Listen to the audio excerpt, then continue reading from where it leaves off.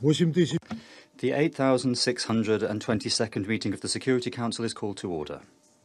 The provisional agenda for this meeting is the situation in the Middle East. The agenda is adopted. In accordance with Rule 37 of the Council's Provisional Rules of Procedure, I invite the representative of the Syrian Arab Republic to participate in this meeting. It is so decided.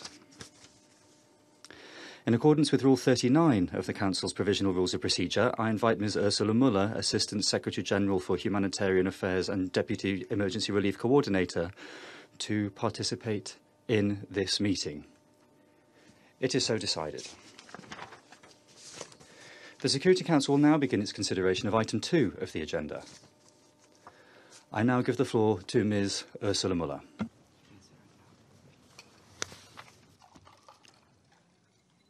Mr. President, distinguished council members, there have been several notable developments uh, in Syria since the Under Secretary General briefed you three weeks ago about the humanitarian situation. And I wanted to start today with an update about northwest Syria. On 30th of August, the Russian Federation announced a unilateral ceasefire in the Idlib de-escalation area which the government of Syria later confirmed. Reports indicate a decline in fighting compared to the period since late April, when the military escalation began. It is critical that the much needed respite for civilians continues, unimpeded humanitarian access be facilitated to all civilians in need, and the protected status of civilian infrastructure be respected. Worrying signs of insecurity are, however, present. Ground forces have continued to exchange shelling in southern Idlib and eastern Latakia, and airstrikes were reported in central and northern Idlib over the past week.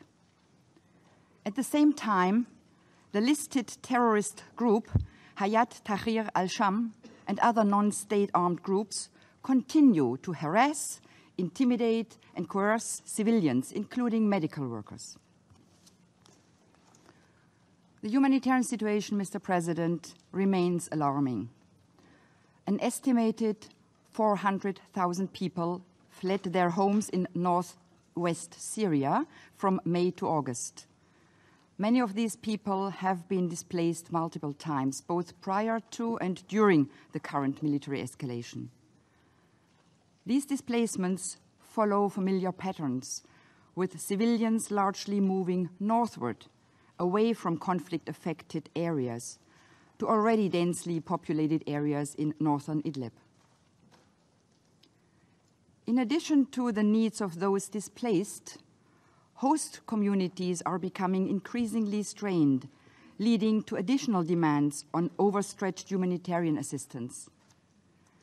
Needs in these areas are considerable across all sectors food and non food, water and sanitation, health, education, and protection. The shelter situation is of particular concern. Increased demand and short supply mean many families are unable to afford rents in urban areas. A survey earlier this month found that about 600,000 people live in tents, camps, and sites for internally displaced persons. Humanitarian partners report that in the absence of viable alternatives, families in some areas resort to living out in the open. Following months of intensive fighting, the outlook in northwest Syria remains uncertain. We know, though, that winter is coming. Humanitarian organizations are already planning how to help people in need before temperatures drop and inclement weather arrives. Humanitarians estimate that an additional $68.4 million is required to address expected winterization, shelter, and non food item needs. Continued donor support is essential to maintain the current humanitarian response, but also to scale up operations to meet the expected needs across northwest Syria in the months ahead. Mr. President, Humanitarian efforts to assist civilians in need across northwest Syria depend on more than just financial support. As the Under Secretary General stressed last month, the people in Idlib are reached exclusively through the cross border operation. On a monthly basis, more than 1.6 million people in need receive some form of assistance. The renewal of your resolution 2165 later this year is crucial to sustain the ongoing support to millions of people in need and to respond to further needs in the months ahead. As you are aware, on September 13th, the Secretary General announced the establishment of an internal, independent United Nations headquarters board of inquiry to investigate a series of incidents that have occurred in northwest Syria. The board will commence its work on September 30th to ascertain the facts of specific incidents of concern and to report to the Secretary General about its conclusions. We stand ready to support the board in its inquiry. Mr. President, I have some developments to report about another intractable humanitarian situation in the Rukban area.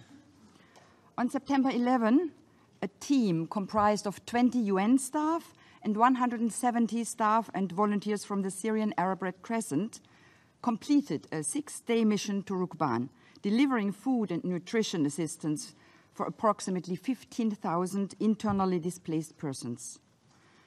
This joint mission was the second UN SARC convoy in 2019 to reach the remote area with humanitarian assistance. This mission was not without difficulties. Access to people in the area depended on extensive coordination with community leaders, armed groups, and multiple member states, including the Syrian Arab Republic, the Russian Federation, the United States, and Jordan. Tensions on the ground were high. Moreover, the teams found that conditions have gradually deteriorated in the past months, with reports that several children have died of preventable causes. The work to support people in Rukban is not over.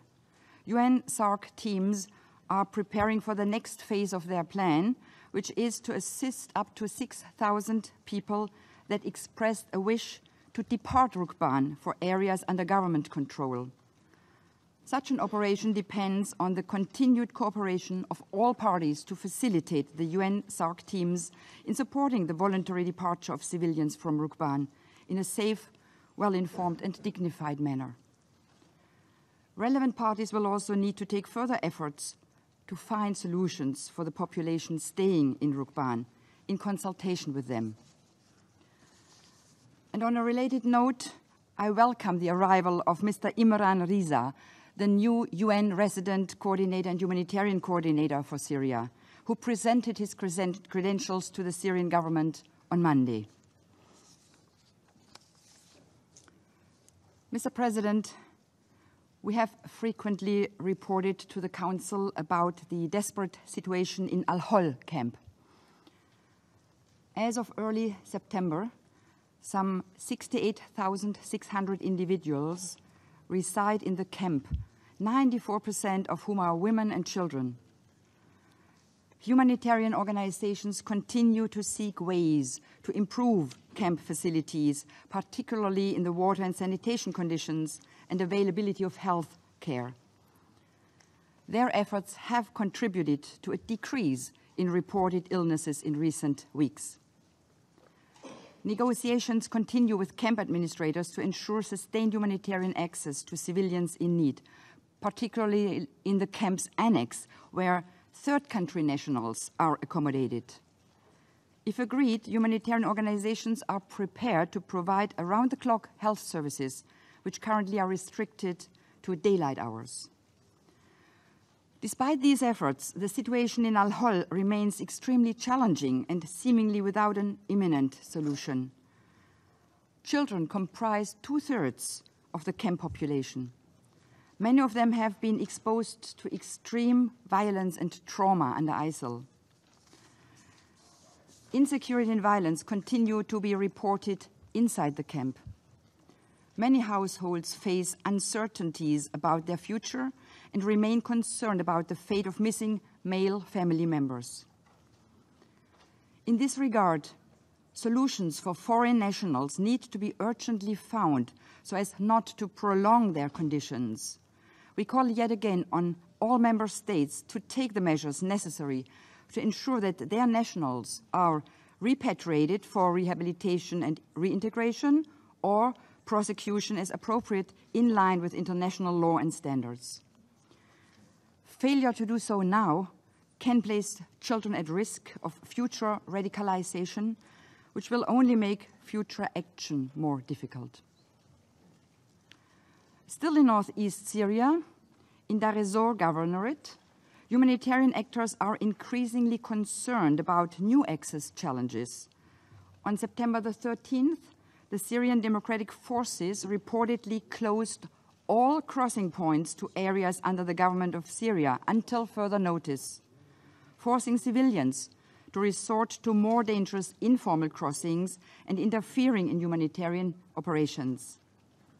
Unimpeded humanitarian access remains essential to ensure the estimated 1.2 million people in need across northeast Syria have access to essential services and assistance. Mr. President, I would like to take a step back from these urgent humanitarian situations, which we brief you about on a routine basis, to highlight two cross cutting dynamics affecting civilians across Syria. The first is food insecurity. Earlier this month, the World Food Programme and the Food and Agriculture Organization reported greater harvests in Syria compared to last year.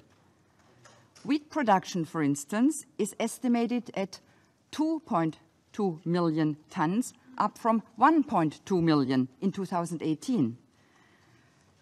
Even if the overall production remains a fraction of pre-crisis levels, an improved agricultural outlook is hopeful news. At the same time, families in Syria face even greater challenges in making ends meet. Food prices have gradually increased nationwide over the last 12 to 14 months, just as the value of their currency has gone down. Importantly, we know the most vulnerable families are the least able to cope with such pressures. Such conditions only heighten, heighten, the importance of ongoing efforts to support the more than 6.5 million people estimated to need food and livelihood support. On a monthly basis, humanitarian organizations deliver food assistance to 4.4 million people in need. It is important to stress that this assistance is provided based on assessed needs almost 75% of this food assistance reaches districts identified with the most severe needs. Mr. President, the second dynamic that I would like to highlight is the threat posed by unexploded ordnance. Civilians in Syria face a chronic danger even in areas where fighting has subsided. More than 10 million people in Syria are estimated to live in contaminated areas. Indeed, incidents have been recorded across Syria since the end of August. On September 8, in Deir ez-Zor, an unexploded ordnance reportedly killed a man while he was checking his house in Abu Kamal district. Days earlier, in northern rural Aleppo, two separate landmine explosions reportedly caused multiple casualties. And on September 1, a landmine reportedly injured 11 people, including five women and three children, in western rural Daraa governorate.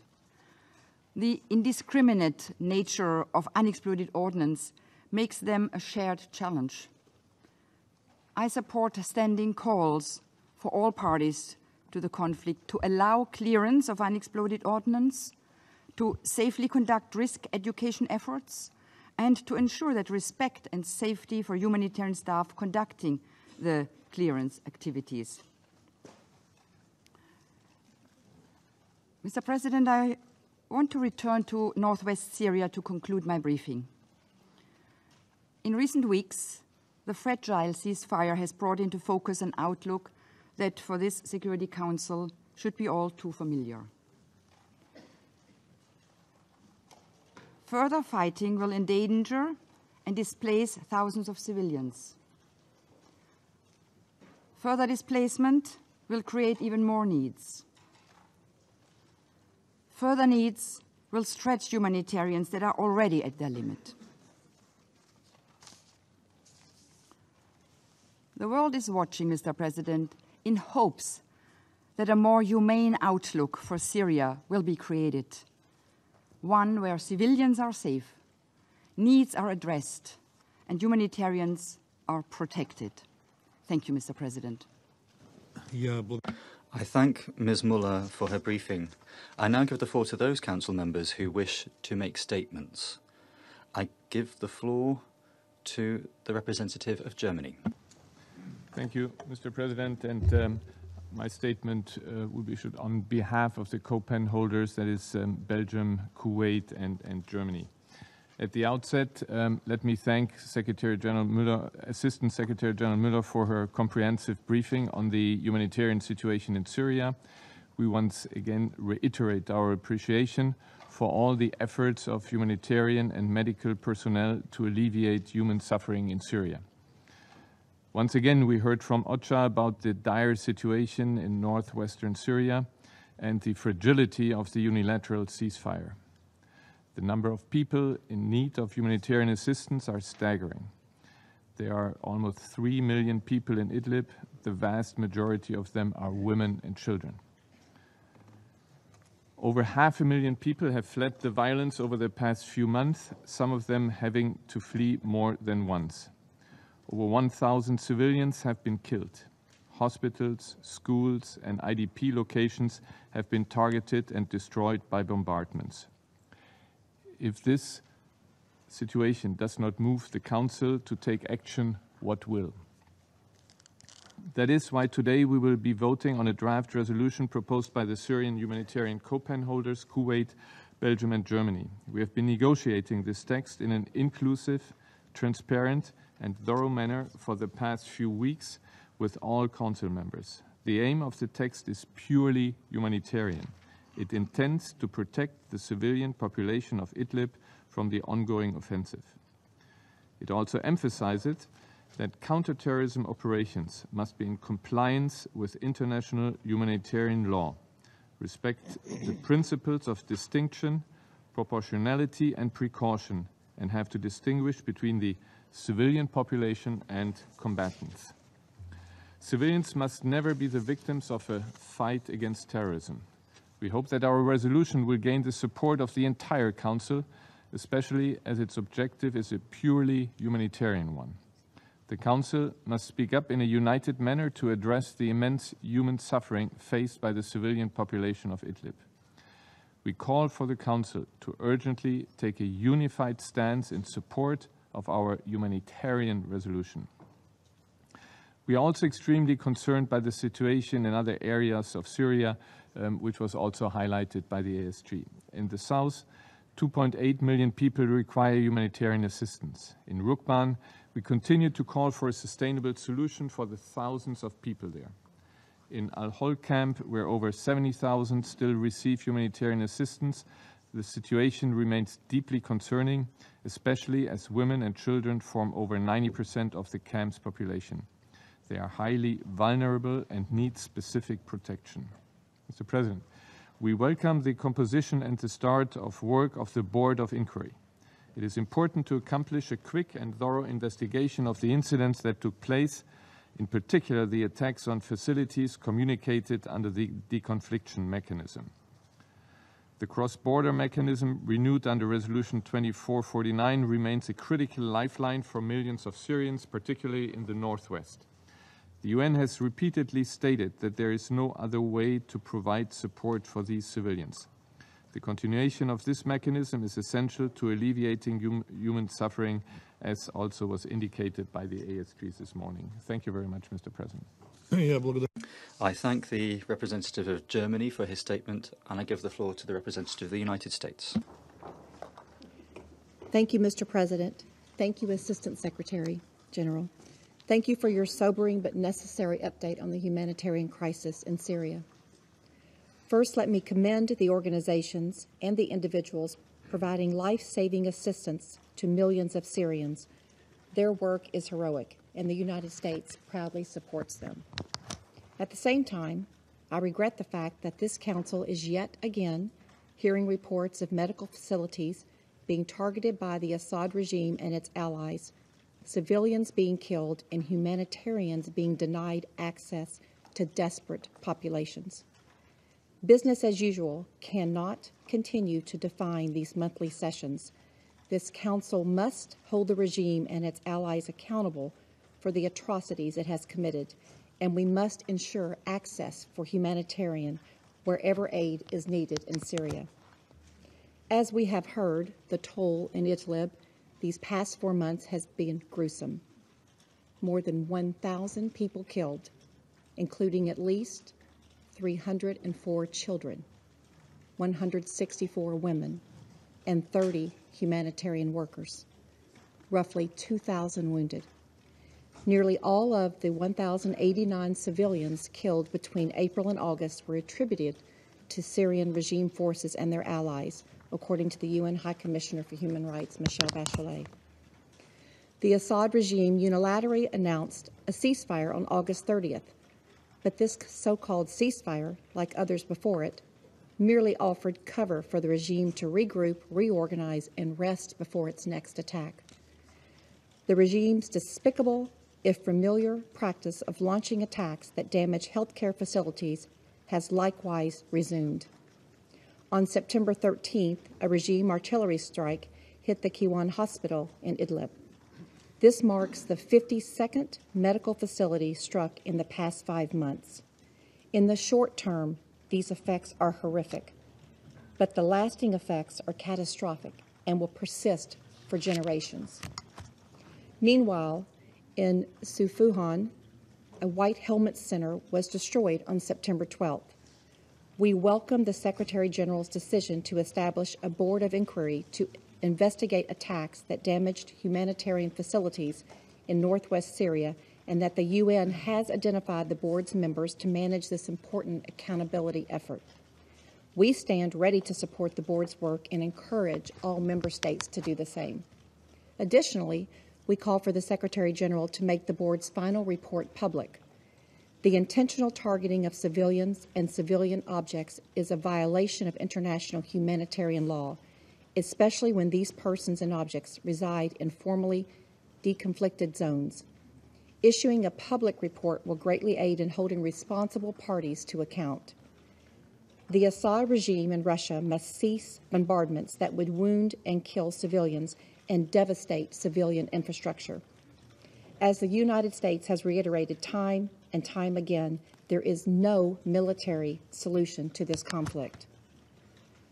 With respect to the Rukban settlement, we recommend, we commend the UN and its partners for completing their assessment mission and delivering critical supplies to nearly 15,000 displaced Syrians.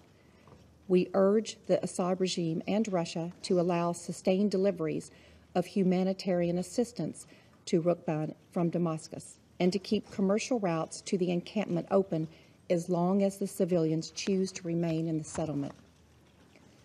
The return of internally displaced persons and refugees in Syria must be informed, safe, voluntary, and dignified. We strongly urge all parties to work with the UN to ensure that proposals for return align with the UN guiding principles on internal displacement and that the displaced persons receive all relevant information so that they may make informed decisions about their movement and safety. We remained alarmed by reports that the Assad regime has detained thousands of returning Syrians and continues to arrest and torture civilians, including those who signed reconciliation agreements with the regime. We call for an end to the Assad regime's cruel detention practices. We welcome the efforts by the members of this body to stop the humanitarian catastrophic unfold in Idlib.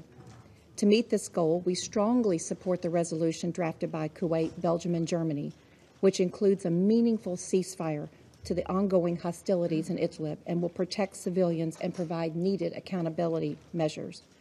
All council members should support this draft. Finally, efforts by other members of the council to promote a separate resolution that denies the people of Syria a full ceasefire will not bring halt to the suffering of Syrians and should not receive support from any members of this council. I would certainly like to believe that all of you will join me in standing with the people of Syria by supporting the sole resolution that will bring an end to the ongoing regime strikes. Thank you. I thank the representative of the United States for her statement, and I give the floor to the representative of France.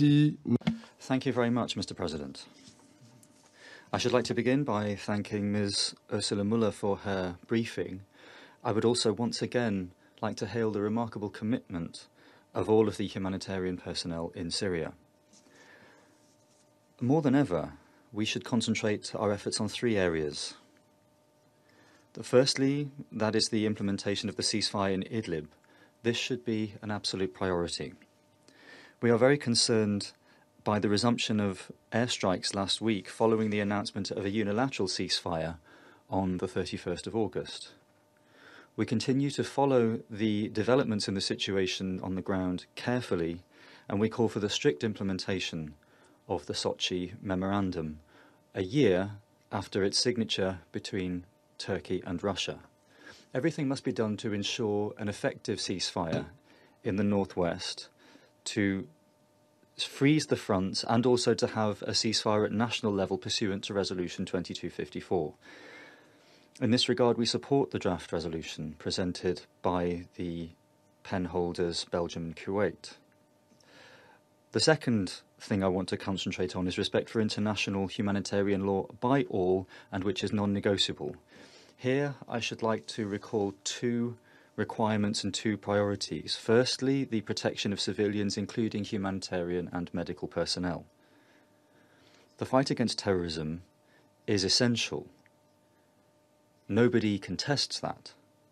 But it cannot be used to justify violations of international humanitarian law.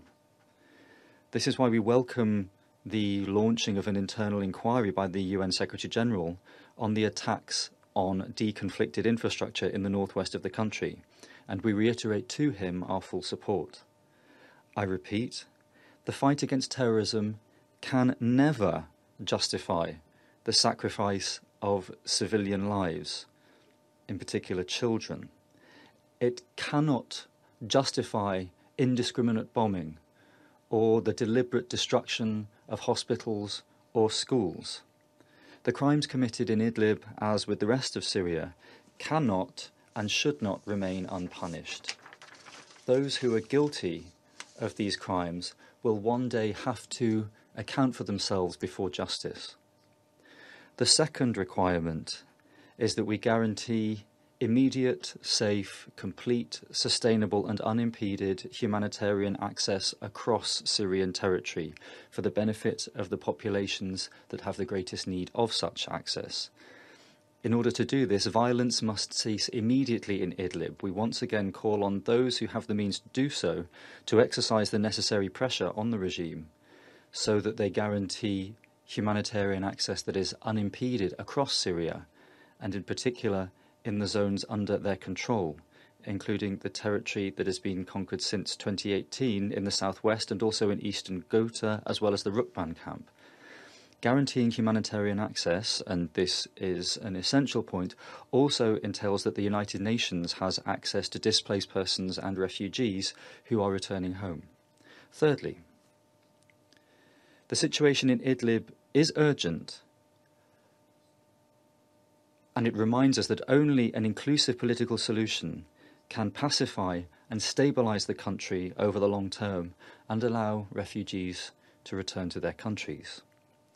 We reiterate our full support for the efforts of the Special Envoy Geir Pedersen in attempting to finalize a balanced agreement on the Constitutional Committee, both in terms of its composition and its rule of procedure.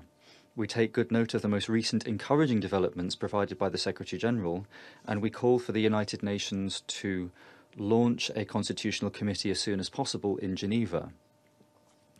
We have to end procrastination here. It is important that in parallel the Special Envoy work on the basis of all of the elements of Resolution 2254, in particular in preparing elections and confidence building measures. We hope that the High Level Week of the General Assembly will represent an opportunity to increase mobilization to support the political process. In the absence of such progress, and without the prospect of a political settlement, France and the European Union will not be able to finance the participate in the financing of reconstruction. This would then fall to the regime and its allies. We call on each member of the Security Council to take ownership of its responsibilities to end the tragedy that continues before our very eyes in Idlib. And we invite the members of the Council to vote in favour of the text presented by the humanitarian co sponsors, Germany, Belgium, and Kuwait. Thank you, Mr. President. I thank the representative of France and I give the floor to the representative of China. Mr. President, I thank Assistant Secretary General Mueller for her briefing. The relevant parties of the international community have recently made active diplomatic efforts to improve the situation in Idlib. Starting from the 31st of August, Russia and the Syrian government have implemented in Idlib a ceasefire which has generally held. On the 16th of September, the presidents of Russia, Turkey, and Iran met in Ankara and agreed to take measures to ease the tension in Idlib stressing that no party is allowed to violate Syria's sovereignty, independence, unity, and territorial integrity, and reiterating the intention to carry out cooperation against terrorism and take concrete measures to protect civilians. China welcomes these developments and supports Russia, Turkey, and Iran in seeking, in the interests of the Syrian nation and people, a comprehensive solution to fight terrorism and address the humanitarian issues in Idlib. We expect the Astana process to continue its important role. China has been following closely the humanitarian situation in Syria as it cares about the interests and well being of the Syrian people. Years of conflict have resulted in a huge demand for humanitarian aid in Syria, and the economic sanctions have worsened the living conditions of the Syrian people the international community must take into account both the current food and other living conditions of the Syrian people and issues relating to the country's post war reconstruction, national security, and development. It should also properly tackle the issue of foreign terrorist fighters and their families and the return of refugees and IDPs to their homes. The international community has a moral responsibility to help the Syrian people shake off the shadows of war and lead a peaceful, stable, and promising life. In carrying out humanitarian relief operations in Syria, the United Nations and its relevant agencies should fully respect Syria's sovereignty, independence, unity, and territorial integrity, strictly abide by the Security Council resolutions, UN guiding principles on humanitarian assistance, and relevant provisions of international law. They should step up communication and coordination with the Syrian government. There is a lot of controversy over the Secretariat's move to establish a board of inquiry into incidents in northwestern Syria. China is concerned about the implications this move may have on Syria's political process. At present, the Syrian government is actively promoting development and improving people's livelihood. China appreciates these efforts. China is in communication and coordination with the Syrian government and plans to focus on launching livelihood related projects to support Syria in its post war reconstruction. Mr. President, a political solution to the Syrian problem is a fundamental way to ease the humanitarian situation in Syria. For some time now, the Secretary General's Special Envoy for Syria, Geir Pedersen, has been actively engaged in good offices to promote the political process based on the principle of a Syria led and owned by the Syrians and on Security Council Resolution 2254, with the political settlement of the Syrian issue now showing an upward momentum. China supports the Special Envoy's efforts and calls upon all parties in Syria to resolve their differences through dialogue and consultation members of the Council should also remain united in providing political support for the Special Envoy's efforts to form a constitutional committee. I thank you, Mr. President. I thank the representative of China and give the floor to the representative of the United Kingdom. Thank you, Mr. President. The situation for civilians in northwest Syria is devastating. Over 1,000 civilians have been killed, including over 500 women and children, and almost 630,000 people have been forced to leave their homes since the beginning of May. I'd like to thank ASG Mueller for her briefing and for the work which her uh, officials and colleagues are doing. And we commend your work and we commend the work of the humanitarian agencies to address the humanitarian suffering of the people in Idlib. The United Kingdom has contributed over $150 million for humanitarian assistance in Idlib over the past 18 months. And I took careful note of what Assistant Secretary General Mueller had to say about the importance of the cross border resolution uh, in that context. Uh, we, of course, support uh, that resolution. Colleagues, the Security Council must act to protect civilians in Idlib. That is why we fully support the humanitarian penholders, Belgium, Kuwait, and Germany, on their proposed resolution. We will be voting in favour. In favour of protecting civilians. In favour of ending indiscriminate attacks. This Council has a duty to protect those suffering on the ground. We need to send a message to the regime that the international community is resolute in condemning their actions and will not let them to continue unabated. Only a vote in favour of the co-pen holders resolution will send the message that countries around this table representing the international community will not accept the wanton targeting of civilians and civilian infrastructure, regardless of the stated objective.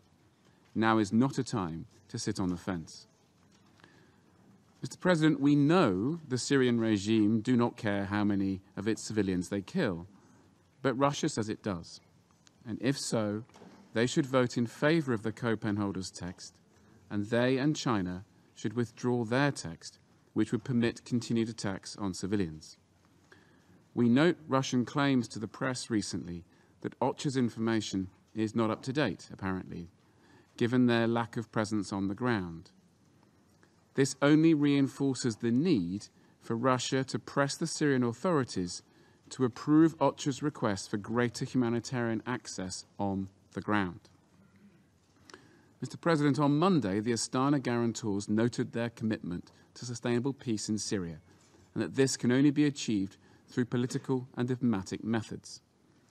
We have been waiting a very long time for political progress. We ask again for Russia to maintain pressure on the regime to fully engage with the political process and, of course, to end the violence in Idlib, which threatens uh, that political process. Finally, Mr. President, we welcome the Secretary General's Board of Inquiry which will soon begin to investigate some of the recent appalling attacks in Idlib. We call for the findings of this inquiry to be released to the public. Now, some of the information underlying those founding, findings may need to remain confidential, but it is crucial that this board is transparent in its mandate and output. The international community, but more importantly, the Syrian people, deserve to be privy to its findings on events in Idlib. Mr. President, ASG Mueller said the world was watching this council. But the Syrian people, men, women, and children, are dying while they watch. Thank you, Mr. President. I thank the representative of the United Kingdom for his statement. I now give the floor to the representative of the Syrian Arab Republic.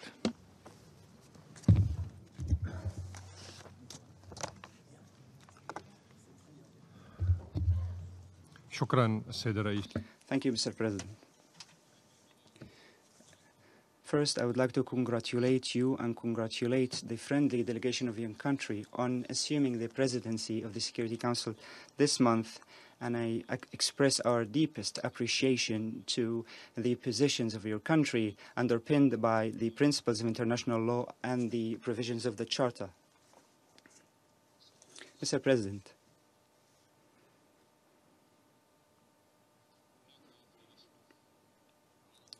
an Arab philosopher who was well known. His name is Mutanabbi. This philosopher who lived 1,000 years ago in Baghdad and in Damascus, in Aleppo as well, said something that is very valid until this moment. He said, and I quote, if if someone does something wrong, then he has misconceptions. Unquote.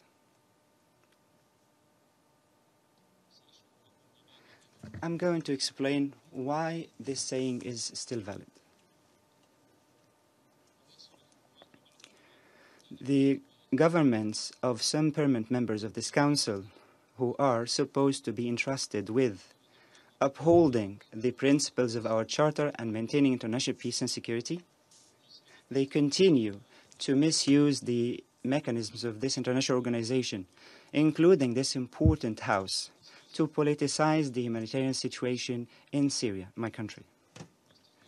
They use it also as a tool in a hostile campaign to undermine the security and stability of my country and support terrorism and to level accusations to tarnish the image of the Syrian government and its allies, and to cover up the crimes of these countries, these same countries, and the crimes of their allies, proxies, and tools in the region.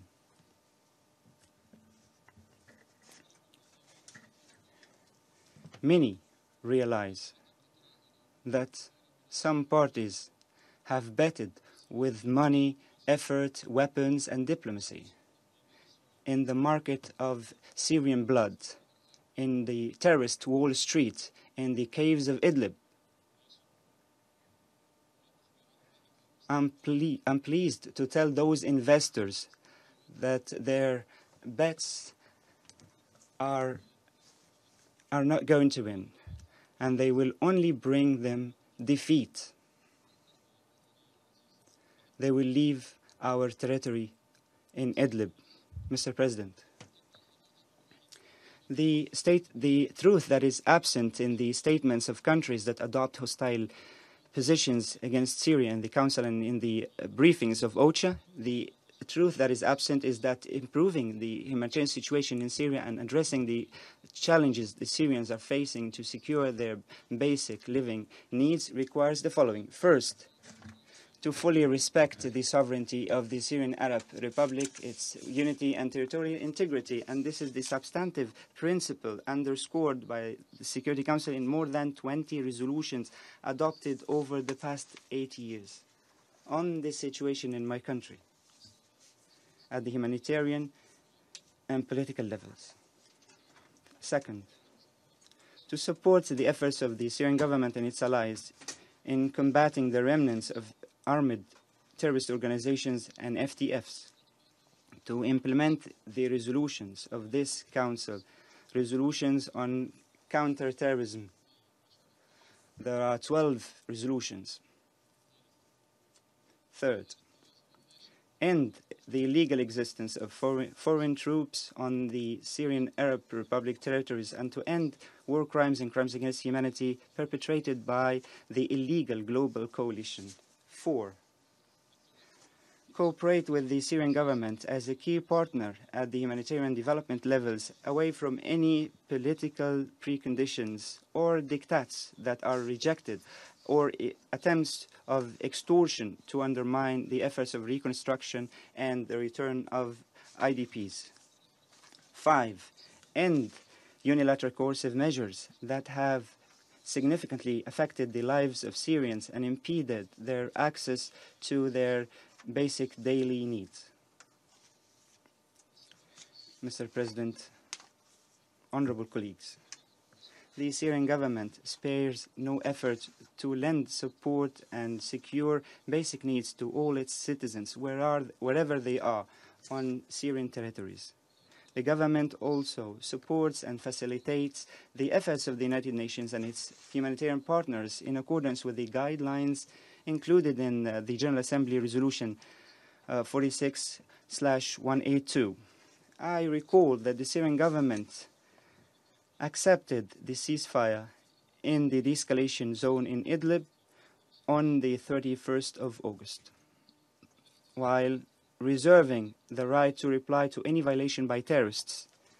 And my government coordinated with the friendly Russian side to open a second humanitarian corridor in Abu Dur in Idlib, in, a, in, addition to the first humanitarian crossing that was previously opened in the city of Suran to enable civ civilians to leave the areas where terrorist, armed terrorist groups exist.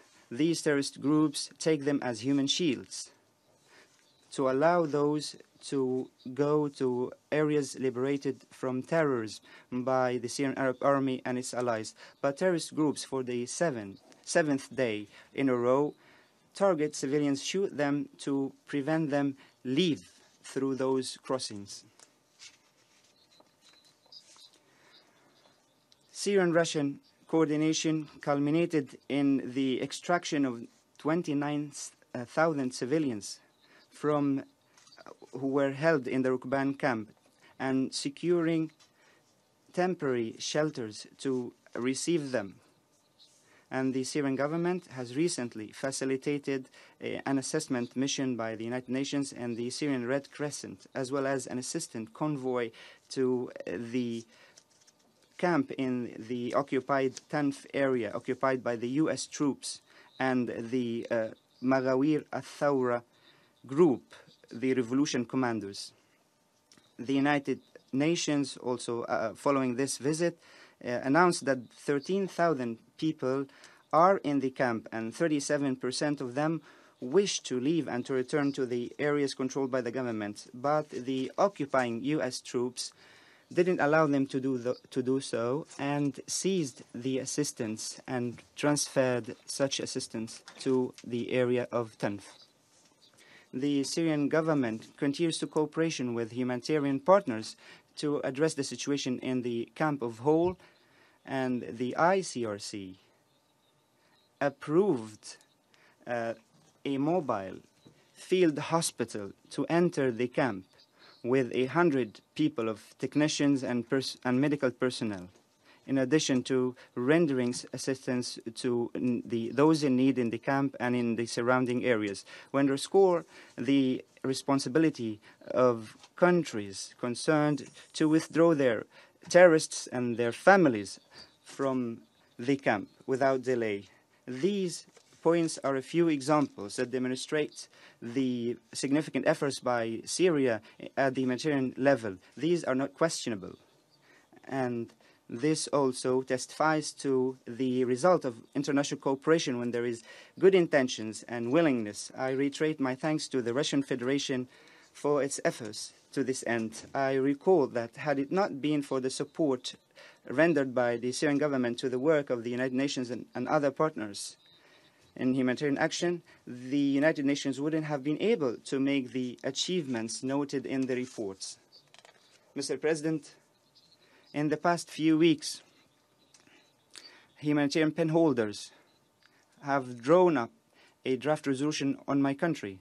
It's a draft resolution that has nothing to do with its announced objectives. We reject it categorically for many reasons, including one, there was no consultation and sincere coordination with the key party concerned, the Syrian Arab Republic. Two, the draft resolution ignores the root causes of the crisis, which is terrorism that is globally supported and the illegal existence of foreign troops on territories of my country and their practices to impose a new fait accompli that runs counter to the uh, assertions of, of your resolutions regarding uh, commitment to the sovereignty of the Syrian Arab Republic, its territorial integrity and unity. Three, the draft resolution ignores the need for excluding terrorist groups from cessation of hostilities in a manner that contravenes the Sochi and Astana agreements. It also ignores the responsibility of member states for returning terrorists and their uh, families, as well as holding them accountable, not to have indifference or shirk their responsibilities, they should revoke uh, citizenship from those terrorists.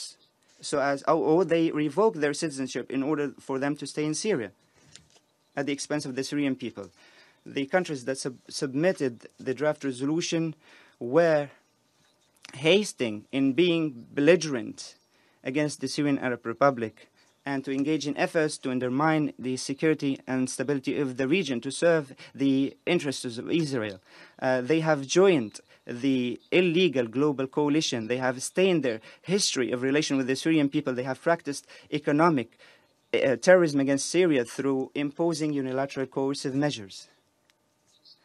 I advise those who have illusions, who think they can turn Tanf into an occupied pocket such as Guantanamo or to turn Idlib to another Tora Bora.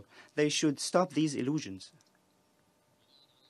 Therefore, Mr. President, my delegation invites you to vote against the draft resolution submitted by the humanitarian penholders. I thank you. I thank the representative of the Syrian Arab Republic for his statement. There are no more speakers on the list of speakers. The meeting is adjourned.